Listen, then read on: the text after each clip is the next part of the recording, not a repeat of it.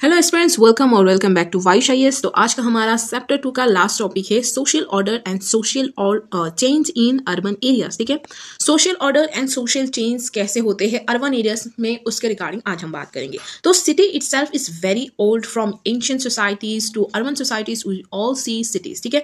तो ancient societies में अगर हम देखें तो Mahendra is an very good example then Harappan civilization Indus valley civilization जिसके रिगार्डिंग आप बात कर सकते हैं तो वहाँ पे ना सिटीज़ होते थे, ठीक है? एंड मॉडर्न सोसाइटी में as you all know Delhi Mumbai Bengaluru okay large segments of population in modern phenomena जहाँ पे आ, अगर आप बात करें हमने लास्ट क्लास में भी बात किया था कि डेवलप कंट्रीज़ में मोस्ट ऑफ़ द पीपल कहाँ पे रहते हैं? सिटीज़ में रहते हैं। एंड डेवलपिंग में आ, कुछ हद तक गाँव में रहते हैं एंड कुछ हद तक सिटीज़ में रहते हैं। एंड अंडर डेवलप में most of the people still depending on agriculture ठीक है?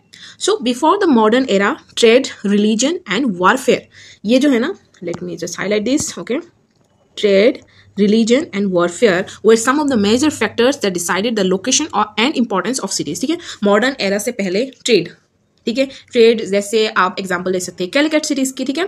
केरला का कैलिकट जहाँ पे पोर्टुगीज आए थे if you read modern history you will know about this and religious places for example Kashi की एग्ज़ाम्पल ले सकते हैं यूपी का, ठीक है? बनारस काशी एंड वारफेयर की अगर बात करें तो पानीपत वो जो है ना हरियाणा वाला region box battle of Buxar battle of then Panipat जहाँ पे हुआ था तो वारफेयर एक मेजर सिटी के फॉर्म में आ जाता है where some of the major factors that decide is the location and the importance of cities okay then cities that were located on major trade routes जहाँ पे हमने बात किया ट्रेड रूट्स और had suitable harbours ports harbours हो गया ports हो गया कैलिकट में था जैसे हम वे ऑफ़ बंगाल के बंगाल वाले इलाके में देख सकते हैं, ठीक है?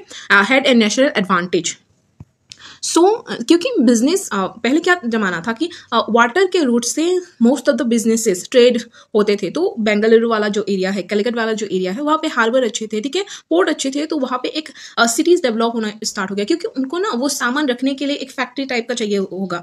तो वो जो सामान रखने के लिए एक फैक्ट्री तरीके का स्टार्ट हुआ तो वहाँ पे वर्कर्स चाहिए होगा उनका फैमिलीज़ आना होगा ना? तो this will proceed to formation of a city ठीक है? So that cities that were well located from the point of view of military strategy then finally religious place attracted large numbers of pilgrims जब religious place होगा था वहाँ पे तो भक्तजन जाएँगे and thus supported and urban economy okay so in India too we have Examples of old cities included the well-known medieval trading towns of Tejpur on the Brahmaputra river.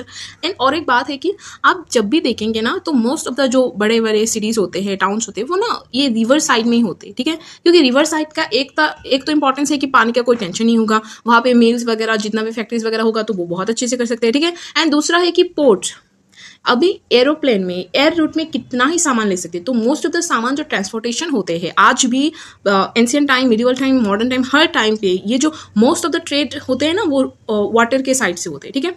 यहाँ पे मैंने पहले ही बोला था एग्ज़ाम्पल कैलिकेट अरबंसी का केरला में जो है and we have some temples for example Ajmer in Rajasthan Varanasi और बनारस और काशी इन उत्तर प्रदेश और मदुरई इन तमिलनाडु ठीक है? Then, as sociological uh, sociologists have pointed uh, out, city life and modernity go very well together. तो मतलब सिटी लाइफ को हम ऐसे बोल सकते हैं जहाँ पे सिटी लाइफ है वहाँ पे मॉडर्निटी होगा ही होगा। एक uh, का दो पहलू मतलब दो साइड का ठीक है? So in fact each may be consider an intimate expression of the other ठीक है?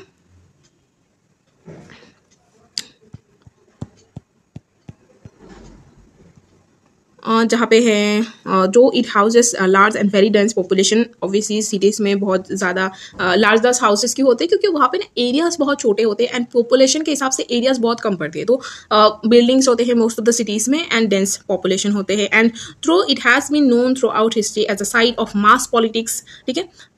क्योंकि आप देखेंगे ना, पार्लियामेंट, लोकसभा, सब एमपी वगैरह तो most of the people live in the cities only ठीक है? देन हम बात कर सकते हैं। But while the many artist writers and scholar who have celebrated the city as the haven of the individual are not wrong it is also true that freedom and opportunity are available only to some individuals तो यहाँ पे एक और बात भी है।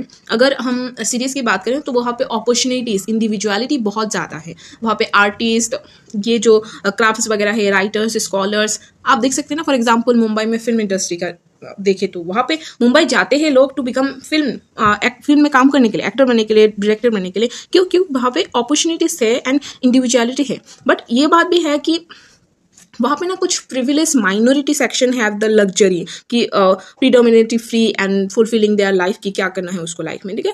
वो जो है ना नेपोटिज्म वाला कॉन्सेप्ट तो उसी की बात हो रहे हैं, ठीक है?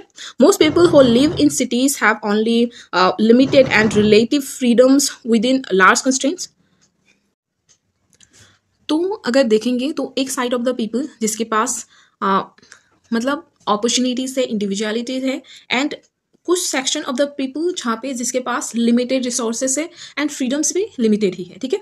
The city to fosters the development of group identities ऐसा नहीं है कि हम हम मैक्सिमम लोग सोचते हैं कि सिटीज़ में तो ऐसा कास्ट वाला एथनिसिटी वाला कुछ सीन नहीं होगा। ओनली विलेजेस में ही कास्ट सिस्टम है उनमें ही एक डोमिनेंट कास्ट वगैरह होते हैं डोमिनेंट क्लास वगैरह। But in cities to foster the development of group identities based on the factors like race हो गया, आप किस रेस से बिलोंग करते हैं, किस रिलीजियस ग्रुप से बिलोंग करते हैं, ठीक है? किस ethnicity caste region and of course the class class is very very important in cities क्योंकि आप देखेंगे ना एक हायर क्लास के लिए अगर आप uh, किसी एरिया में जाए तो मुंबई का एरिया मुंबई का स्लम का जो साइड है वहाँ पे आप देखेंगे कि वो पूरा सेपरेट है फ्रॉम द मेन सिटी ठीक है? मेन सिटी जहाँ पे बिल्डिंग्स वगैरह है तो वो पूरा ही सेपरेट है एक एक साइड में है वो स्लम वाले एरिया ठीक है? So which are all well represented in urban life in fact the concentration of large number in a relatively small space uh, intensifies identities and makes them integral to strategy um, strategizes of survival resistance and assertion जो हमने बात किया कि slum areas का example जहाँ पे बहुत large section of the people मतलब आप ले सकते हैं ऑटो वाला से लेकर रिक्शा वाला वेजिटेबल वाला दूध वाला सब कुछ मैकेनिक एवरीथिंग एवरी पीपल जो एक माइनर वर्क्स करते हैं, जो एक सिटी को चलाते हैं, ठीक है? ठेले वाला फुल्की वाला जो भी है, जितना भी है, वो सारा पीपल कहाँ पे रहते हैं? क्योंकि they don't have that much money they don't earn that much money कि वो एक सही जगह पे मतलब कोई बिल्डिंग वगैरह में, कोई फ्लैट वगैरह ले सके। तो they live in the slum area जहाँ पे सर्वाइवल रेजिस्टेंस वेरी वेरी मतलब क्या बोलते हैं, एक चैलेंजिंग पार्ट हो जाता है, ठीक है? Most of the important issues and problems of social order in towns and cities are related to the question of space. ठीक है? जो मोस्ट ऑफ़ द प्रॉब्लम्स आप देखेंगे ना एंड uh, इश्यूज़ देखेंगे इन अर्बन एरियाज़ वो space के regarding होते हैं। High population density places a great premium on space and creates very complex problems of logistic ठीक है? तो यहाँ पे क्या क्या प्रॉब्लम्स हो सकते हैं? जैसे हाउसिंग एंड रेजिडेंशियल पैटर्न्स का mass transit system for transporting large number of workers to and fro for works मतलब जो ट्रैफ़िक वाला एक कंडीशन हो गया देन इंडस्ट्रीज़ का एक देन पब्लिक का सैनिटाइजेशन टैप वाटर का जो सिस्टम है, ठीक है? ऐसी बहुत सारी problems we face in city life ठीक है? पब्लिक सेफ्टी एक, क्योंकि जब भी आप देखेंगे ना small section of the people मतलब big section of the people live in small areas they have this complexity poor and rich का जो डिफरेंस है in city life we see many of them ठीक है? तो उसके रिगार्डिंग स्टार्ट होता है क्रिमिनल क्राइम तो ये जो क्राइम वाला एक सेक्शन है ना, वो भी इम्प्लीमेंटेशन एंड मेंटेनेंस किसी को ज़्यादा मिल रहा है और किसी को कम मिल रहा है, उसके रिगार्डिंग हो रहा है, ठीक है? For example the question of urban housing brings with it a whole host of problems shortage of housing for poor leads to the homeless and the phenomena of street people का example हम लिख सकते हैं ठीक है those who live and survive on the street and future under bridges and flyovers abandoned uh, buildings and other empty spaces जहाँ पे लोग रहते हैं it is also the leading cause for the emergence of slum जो हमने बात किया through official definition very slum official definition में स्लम का ऐसा एग्ज़ाम्पल है कि slum is congested of a crowded neighbourhood with no proper civic facilities civic facilities का मतलब सैनिटेशन नहीं है प्रॉपर वाटर सप्लाई नहीं है इलेक्ट्रिसिटी नहीं है. वहाँ पे कुछ सिस्टमेटिकली हाउसिंग नहीं है, ठीक है? वहाँ पे पब्लिक हेल्थ का कुछ सेफ्टी वगैरह नहीं है. And homes made of all kind of building material ranging from plastic sheets and cardboard to मतलब आपको पता ही है स्लम वाले लोग जिस भी चीज़ लेते हैं, उन्हीं से ही वो लोग घर बनाते रहते हैं। Because of the absence of settle property rights of kind seen everywhere slums are the natural breeding ground for dadas and strong man who impose their authority on the people who live there ठीक है? तो यहाँ पे, क्योंकि जो भी लोग स्लम एरिया में रहते हैं, उन लोग का वो, वहाँ पे कोई प्रॉपर्टी राइट नहीं है। तो वहाँ पे इमर्ज होता है दादास वगैरह कि आप लोग को हफ़्ता देना है and will allow you to live here like that ठीक है? So Control over slum territory becomes the natural stepping stone to other kinds of extra legal activities, ठीक है?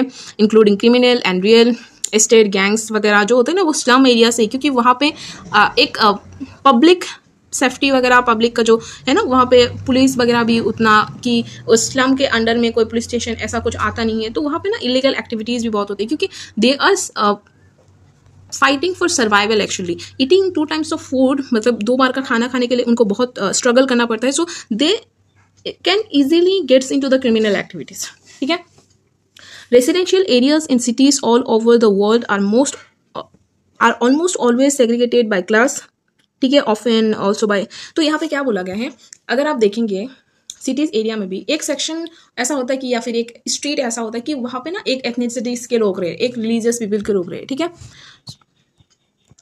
और इसी एथनिसिटी के रिगार्डिंग एक एग्जांपल हमने दिया है। For example in India communal tension between religious community most commonly Hindus and Muslim result in the conversion of mix neighbourhoods यहाँ पे सिटीज़ में ना कभी कभी मिक्स नेबरहुड्स की वजह से भी सिंगल कम्युनिटी में जब मिक्स नेबर्स हो जाते हैं डिफरेंट रिलीजन डिफरेंट एथनिसिटी तो वहाँ पे भी वायलेंस कम्युनल वायलेंस सिरप्स होते हैं। फॉर एग्ज़ाम्पल अगर हम बात करें तो जो गुजरात राइट्स हुआ था देन रिसेंटली जो हुआ दिल्ली राइट्स उसका एग्ज़ाम्पल लिख सकते हैं ठीक है?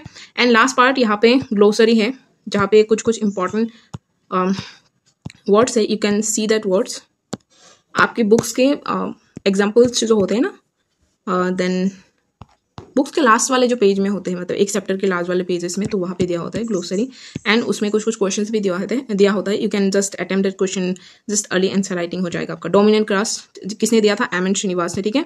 Gated community urban locality usually upper class और affluent seal off from its surrounding by fences walls and gates with control entity and entry and exit gated community मतलब जो बड़े बड़े लोग हैं फॉर एग्ज़ाम्पल फिन इंडस्ट्रीज़ के लोगों का एक एरिया जहाँ पे मतलब सीलिंग होगा, आपको वहाँ पे एंट्री लेने के लिए पूरा अलाउ करना पड़ेगा कि कार्ड सिस्टम भी होता है किसी किसी में। ठीक है? सो घेटो घेटोइजेशन इसका मतलब क्या है? Originally from the term use for the locality where Jews live in medieval European cities today refers to any neighbourhood with a concentration of people of a particular तो घेटोइजेशन मतलब है जहाँ पे एक ही तरीके का सिंगल कम्युनिटी रहता है घेटो और ghettoisation for example you live in Hindu society तो वो हिंदू कम्युनिटी का घेटोइजेशन है, ठीक है? सो ये चैप्टर खत्म हो गया. If you have any doubt in can ask me in the comment section below will see you guys in the next class तब तक के लिए जय हिंद बंदे मातरम.